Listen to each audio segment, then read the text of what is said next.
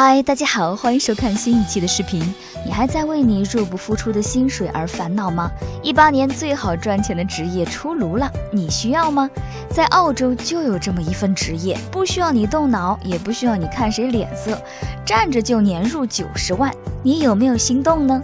这份工作的名称叫做交通道路指导员，他们的工作很简单，没有什么特别要求，只需要你拿着路牌在适当的位置指挥交通，提醒路人 stop slow，及时引路和劝阻违规行为，就能拿到年薪六十万人民币的工资。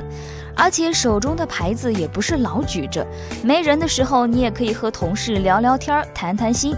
根据地区不同，薪资也不同，最高可达九十万人民币。九十万是个什么概念呢？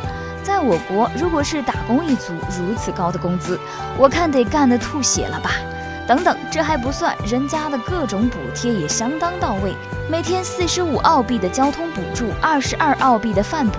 而且根据不同路段的规模，交通引导员还可能得到每小时二点一至三点九五澳币的工地补助，超过工作时间十小时外，两倍工资立马到位。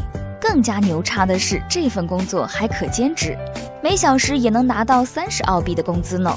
前面这一切只需培训几天，考试通过即可上岗，如此高的薪水，你或许会想，怎么会轮到我呢？那你就大错特错了。实际这个岗位人员是稀缺的，原因很简单。众所周知，澳洲天气炎热，虽然温差较大，但白天年平均气温都在十五摄氏度。真正到了夏季，那就更可想而知了，晒黑、晒斑、晒伤都是再正常不过的了。三十八摄氏度的天气也得穿上冬天的大棉袄，我想没几个人能受得了吧。再碰上个刮风下雨突发状况，倒霉点儿再遇到个脑残司机，真是让你欲哭无泪。总之，这份工作工资虽高，但也是相当受罪，所以很多人都不愿意干。而当地政府为了吸引人，更是一度把工资上调，并打算在二零五六年前建造更多的房子来安置悉尼八百万人口。那么，交通指导员可谓更加紧缺。如果你不惧怕炎热，明年你将步入百万富翁行列。怎么样，小伙伴们，你感兴趣吗？好了，今天就和大家介绍到这里，下一期会带大家去看更有意思的地方。欢迎大家点赞评论，喜欢我就请点击视频右下角的关注哦。